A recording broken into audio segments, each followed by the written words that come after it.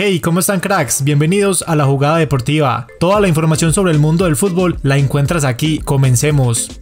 Empezamos el día con noticias de Luis Díaz. Y es que Liverpool tenía un partido amistoso contra el Leipzig y Jürgen Klopp tomó la decisión de empezar con este 11 titular. Muchos esperaban que el nuevo tridente saliera desde el arranque, pero Darwin Núñez se quedó en la banca de suplentes. El encuentro empezó con un Luis Díaz muy defensivo, siempre presionando en el campo rival para robar el balón y armar una jugada de ataque. El primer gol de los Reds vino por parte de Mo. El egipcio, como es de costumbre, no perdona si está frente al arco. Con este tanto, Lucho empezó a correr más buscando los espacios y su gol, pero en ningún momento podía rematar al arco. La marca sobre él era muy grande. Después de varios minutos y ya con el cansancio encima, cometió un error grave pasándole el balón a un rival y casi termina en gol la jugada. Jürgen Klopp enfurecido le gritó al colombiano que estuviera más atento. Ya para el segundo tiempo el tridente estuvo en cancha, puesto que Darwin Núñez entró desde el banco.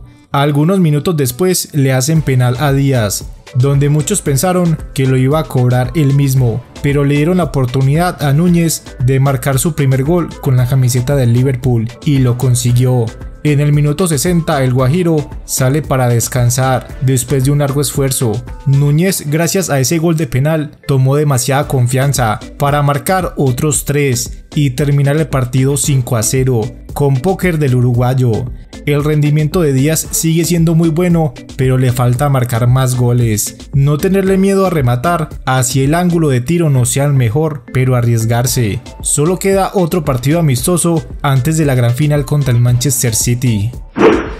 Hablando de partidos, ayer el Rayo Vallecano gana 2 a 0 contra el Sheffield. Este encuentro hace parte de los partidos amistosos del club español. Falcao no estuvo de titular, pero sí ingresó en el segundo tiempo, sumando media hora. Al Tigre se le dio con buen estado físico y sin ningún rastro de su anterior lesión. El próximo partido para el colombiano será este sábado 23 de julio. Antes de continuar, cracks, los invitamos a seguirnos en nuestras redes sociales con toda la información al instante. Y no olviden apoyar el video con un me gusta que nos ayuda mucho.